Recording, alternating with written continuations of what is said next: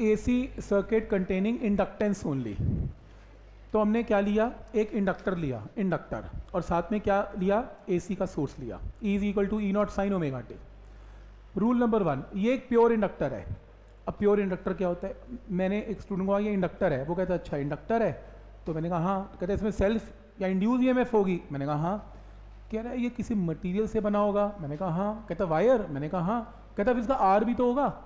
मैंने कहा, कौन सा आर? कहता, ये वाला जो पीछे किया था आर, ये भी तो होगा। किसी भी वायर की आर भी तो होती है। तो मैं एक पॉइंट क्लियर कर दूँ, जब मैं ओनली इंडक्टर और प्योर इंडक्टर बोल रहा हूँ तो मैं इसकी मटेरियल की रेजिस्टेंस को कंसिडर नहीं कर रहा। तो इसकी मटेरियल की रेजिस्टिविटी मैं नहीं ले रहा मटेरियल की वजह रेजिस्टेंस नहीं ले रहा। क्या ये पॉइंट क्लियर है?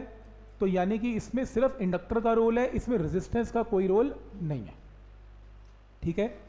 तो मैंने इसमें ई एम एफ़ अप्लाई की E is equal to E naught sine of omega T अब क्योंकि ई एम एफ़ ऑल्टरनेटिंग है, अपनी वैल्यू को चेंज कर रही है करंट अपनी वैल्यू को चेंज करेगा तो इंडक्टर क्या कहता है? मैं अपने अंदर इंड्यूस ईएमएफ करूँगा।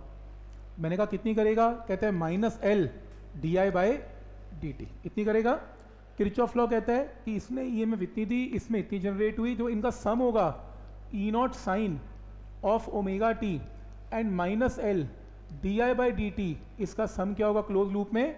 ज़ीरो इसको ज़ीरो कर दिया तो यहाँ से E naught sine of omega T is L D I by D T ये दो स्टेप लिखने लिख लो, क्योंकि मैंने डायरेक्टली यहाँ से लिखना स्टार्ट किया है।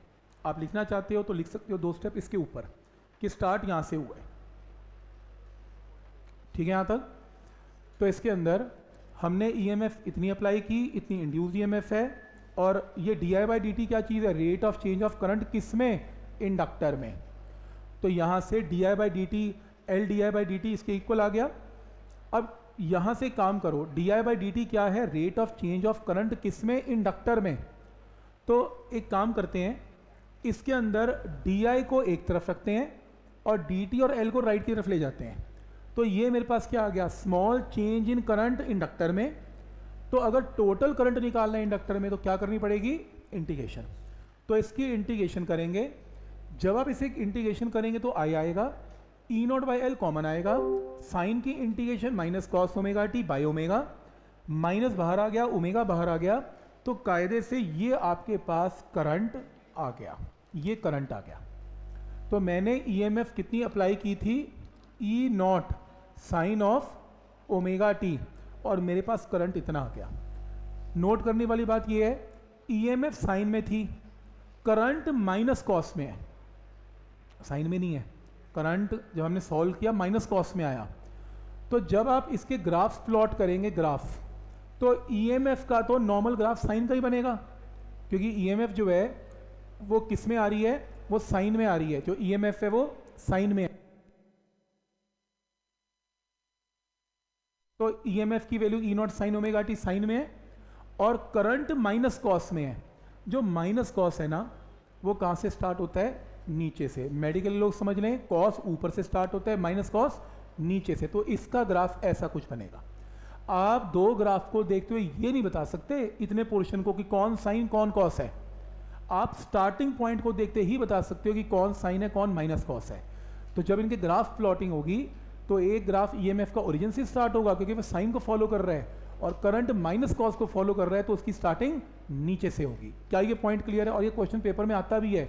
आपको ऐसे ग्राफ बना के दे देगा। आप ग्राफ की शक्ल देख के नहीं बता सकते कौन ईएमएफ कौन करंट तो आपको स्टार्टिंग देखनी होती है। तो अगर स्टार्टिंग यहाँ से है तो साइन है। अगर यहाँ से है तो माइनस कॉस है। क्लियर है? और अगर ऊपर से है तो कॉस है। क्लियर है यहाँ तक? तो इसके अंदर ये करंट आ गया। ठीक है, यहाँ तक। अब क्या है? ई एम एफ़ साइन की फॉर्म में करंट माइनस कॉस की फॉर्म में इसको मॉडिफाई करते हैं। मॉडिफाई कैसे? मॉडिफिकेशन में कॉस को अगर मैं साइन में कन्वर्ट करूँ कॉस को अगर मैं साइन में कन्वर्ट करूँ तो यहाँ पर क्या लिखना पड़ेगा? Pi by two minus omega t क्योंकि साइन ऑफ़ 90 माइनस थीटा क्या होता है? Cos theta cos omega t को लिख लिया, sine of 90 minus omega t और माइनस साइन को इस ब्रैकेट में ले जाएँगे तो ओमेगा टी आगे आ गया पाई बाई टू पीछे आ गया। क्लियर है यहाँ तक? मॉडिफाई कर लिया करंट को। और last step E naught by L omega E naught ये पूरा जो कोफिशेंट होता है, वो क्या होता है? आई नॉट होता है। तो मेरे पास ई एम एफ़ की इक्वेशन क्या थी? E naught sine omega t और मेरे पास करंट की फाइनल इक्वेशन क्या आ गई? Sine of omega t minus pi by two तो अगर मैं ये पूछूँ कि ई एम एफ़ का फ़ेज़ कितना है, आप क्या बोलेंगे? ओमेगा टी करंट का फेस कितना है? Omega t minus pi by two. तो क्या मैं ये बोल सकता हूँ कि इसके अंदर जो करंट है, current, lags EMF by an angle of pi by two. मतलब करंट का फेस पीछे है ईएमएफ के फेस से by an angle of pi by two. या उल्टा भी ट्रू है EMF leads current by an angle of pi by two कि ईएमएफ का फ़ेज़ करंट के फेस से पाई बाई टू आगे है। क्या ये पॉइंट क्लियर है यहाँ तक? ठीक है यहाँ तक। समझ में आ रहा है? तो क्या आएगा? पेपर में क्वेश्चन आता है। Prove in a pure inductor E current lags EMF by an angle of pi by two तो ये पूरा प्रूफ आएगा और प्रूफ करना पड़ेगा कि यहाँ तक। यहाँ तक प्रूफ करना पड़ेगा। तो पहला स्टेप क्लियर है यहाँ तक। तो कुछ भी नहीं किया। आपने यहाँ पर ही ऑफ़ लॉ लगाया डी आई एक तरफ़ इंटीग्रेट किया करंट आ गया। कॉस को लिख लिया साइन की टर्म में 90 minus omega t minus sine अंदर चला गया, ये आई नॉट हो गया आंसर आ गया। तो एक स्टेप दूसरा डायग्राम साथ साथ देख लो। ईएमएफ क्योंकि साइन में थी करंट माइनस कॉस में था, ये देखो ग्राफ मैंने बनाना सिखा दिया था साइन और माइनस कॉस का क्लियर है यहाँ तक? फेजर इसके ये वेक्टर डायग्राम भी देखो। वेक्टर में ये बताओ ईएमएफ की इक्वेशन क्या है? E naught sine omega t current की फाइनल इक्वेशन क्या आई? I naught sine omega t minus pi by two तो अगर ग्राफ प्लॉट करेंगे तो ये आपके पास ईएमएफ का ग्राफ आएगा मेकिंग एन एंगल ऑफ़ कितना? ओमेगा टी लेकिन जो करंट है, उसका वेक्टर का जो फ़ेज़ बनेगा वो ओमेगा टी से पीछे होगा an angle of pi by two पीछे कैसे जाएँगे? इसके पीछे चले जाओ। कितना? पाई बाई टू ये देखो, नीचे आएगा करंट ये करंट है। ये देखो, यहाँ बेटर है। ये आपकी ईएमएफ है। ईएमएफ ने एंगल क्या बनाया? ओमेगा टी और करंट जो है, वो इस ओमेगा टी से नीचे चल रहा है, पीछे चल रहा है पैन एंगल ऑफ़ 90 तो ये वेक्टर ड्रॉ कर लेंगे। क्लियर है यहाँ तक? फेजर सब क्लियर है इसके।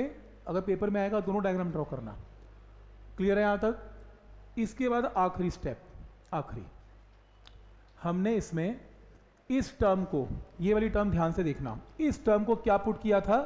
आई नॉट तो हमने पुट किया था आई नॉट किसके इक्वल है? E naught by L omega यहाँ से ई नॉट किसके इक्वल है? I naught into L omega cross multiply Ohm law क्या कहता है? E M F is current into क्या? क्या? Fill in blanks voltage is current into क्या? रेजिस्टेंस तो यहाँ पर क्या आएगा? रेजिस्टेंस तो इसका मतलब ये क्या एक्ट करेगी इसकी? रेजिस्टेंस पर मैं आपको रेजिस्टेंस वो तो आपने मना की थी। मैंने रेजिस्टेंस मना की थी कौन सी? वायर के मटेरियल वाली। अब ये कौन सी रेजिस्टेंस है? ये कौन सी क्यों आई? क्योंकि इंडक्टर आपके चेंजिंग ईएमएफ को क्या कर रहा था? अपोज इंड्यूस्ड ईएमएफ बना के। वो जो अपोजिशन शो करता है, ये उसकी रेजिस्टेंस है। तो this resistance is due to opposition clear है यहाँ तक? मटेरियल और वायर की वजह से नहीं अपोजिशन की वजह से। तो इस रेजिस्टेंस का नाम रेजिस्टेंस ही रखेंगे। तो खुद कंफ्यूज हो जाएँगे। रेजिस्टेंस कौन सी लेनी है? तो इसका नाम है, इसका नाम है inductive inductive reactance inductive reactance होती है ओम्स में ही है, पर इसका नाम इसलिए चेंज किया ताकि आप आर में और इसमें कंफ्यूज ना हो जाएँ। आर का मतलब मटेरियल की वजह से रेजिस्टेंस और इंडक्टिव रिएक्टेंस का मतलब resistance because of induced EMF इसका सिंबल भी आर नहीं रखेंगे कंफ्यूज हो जाएँगे। इसका सिंबल है एक्स एल एक्स के पैर में L inductive reactance X L तो होता ये ओम में ही है पर एक्स एल का जो फॉर्मूला है वो क्या बनेगा? एल ओमेगा नाम इसका इंडक्टिव रिएक्टेंस यूनिट्स इसके ओम्स तो पॉइंट समझ में आ रहे हैं यहाँ तक? ठीक है तो इसके अंदर यही मैंशनड है कि E naught is I naught into L omega E M F is current into resistance तो एक्सएल का मतलब L omega X L is inductive reactance ठीक है, मान लो इस सोलेनॉइड में या इंडक्टर में आपने डीसी करंट पास कर दिया डीसी में साइकिल ही नहीं होते साइकिल नहीं होते तो ओमेगा क्या होता है? ज़ीरो। ओमेगा ज़ीरो में एक्सएल क्या आएगा? ज़ीरो। तो सही है ना? जब डीसी करंट पास करेंगे तो कोई इंड्यूस करंट पैदा ही नहीं होगा इंडक्टर में तो एक्सएल ऑटोमेटिकली क्या हो जाएगा? ज़ीरो। पॉइंट समझ में आ रहा है? एक्सएल की वैल्यू क्या हो जाएगी? ज़ीरो। ए सी पास करोगे, एक्सएल आएगा। डीसी पास करोगे, एक्सएल ऑटोमेटिकली ज़ीरो। तो यहाँ तक ये रिज़ल्ट क्लियर है और यूनिट्स अगर निकाले हुए हैं, निकालने की ज़रूरत नहीं है। यूनिट्स इसके क्या आएँगे हमेशा? ओम्स ही आएँगे।